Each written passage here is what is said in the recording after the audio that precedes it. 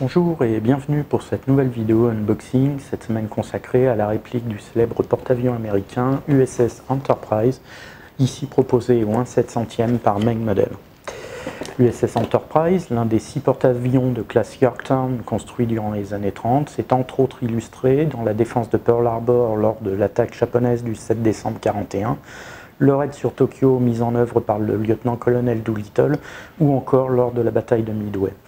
Cette nouvelle référence Meg Model offre aux maquettistes débutants un kit de grande qualité, au détail d'une grande finesse au regard de l'échelle et fournira aux plus expérimentés une base solide qui permettra, par l'ajout de pièces en photodécoupe, de réaliser une reproduction très fidèle de ce monument de la guerre du Pacifique. Je vous propose tout de suite de découvrir en ultra haute définition l'ensemble des pièces constituant ce nouveau kit Meng, prochainement disponible sur les sites 1001 Hobbies.